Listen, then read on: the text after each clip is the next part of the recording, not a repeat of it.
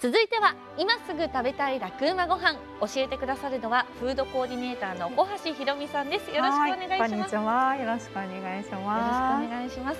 早速ですが今日教えていただくのはこちらです、はい、キムチとじゃがいものもちもちチヂミ。美味しそうですね。すごく美味しそうに読んでいただきましたね。ありがとうございます。食べた時の食感が楽しい今日のメニューです、生地にじゃがいものすりおろしを入れることでもっちもちになりますまたちょっと、えー、多めの油で焼くことでですね外はパリパリに仕上げたいと思います、お好みの具材でアレンジもしやすい一品になっていますよもう焼き加減が難しかったりしますからね。そうですね。今日はね、すごくこんがりいい色に焼き上がりました。ぜひそのあたりも皆さんに見ていただけたらなと思います。まずは材料です。材料は3枚分です。白菜キムチ 200g、じゃがいものすりおろし正味 200g、豚バラ薄切り肉 200g、青ネギ 50g、薄力粉 80g、卵 L サイズのものを1個。ごま油大さじ6水 100cc そしてお好みでポン酢醤油白ごまのつけだれなどもご準備ください。はいでは作っていきたいと思います、はい、お願いします。まずですね具材を切っていきますが、えー、豚バラ肉ですね。こちらは3センチえ長さにですね切っておいてください青ネギも3、4センチ長さにね切っておきます。はい。そして生地作りをしていきます、はい、まずですねボウルに薄力粉をですね測っていただきます。でこちらに卵をね1個加えます、はい、でちょっとあのもう溶き混ぜながらですね、うんうんお水を少しずつ加えていきます。少しずつなんですね。はい、あの一気に入れてしまうとやっぱちょっとねダマになりやすいので、うんうん、少しずつですね、あのー、しっかり混ぜ込みながら加えてあげてください。うんうん、はい。今こちらが薄力粉 80g に L サイズの卵1個とお水が 100cc 入っているところですね。うん、綺麗に伸びます、ね、サラサラとしてきましたね、うん、そうですよね。まあ、このぐらいになったらお水一気に入れていただいて大丈夫です、はい、結構ねゆるい生地になるんですが、うんうん、今日はですね今日のポイントである、はい、このじゃがいものすりおろしをね加えていきます、はい、こちらにも一気にですねすりおろしたものを 200g 加えていきます、はいはい。このすりおろしをね、うん、えー、加えることで冷めてももちもちっとしたね生地になりますのでね。今日の最大のポイントです。今日の最大のポイント。はい。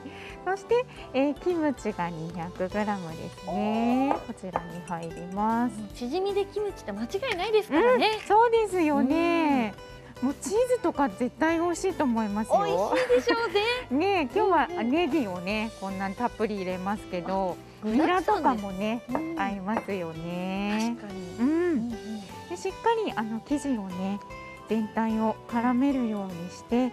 えー、均等に混ぜてあげてください。そしたらもうこれチヂミの生地が出来上がりです。簡単ですね。そしてこう混ぜていけばいくほどこう生地に、うん、あのキムチのね、ね、赤さが出てきて、ねなんか元気な色ですよね。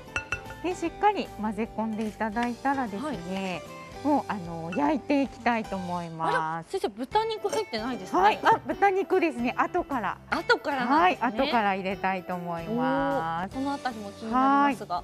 で、えフライパンにですね、うん、え1枚ずつ焼いていくいくのでごま油大さじ2をですね熱していただいて、はい、こちらにですね3分の1量ぐらいを、うんうん加えていきます。わいい音しましたね。じわーって言いましたね。このごま油は少し多めなんですよね。シュワ言いましたね。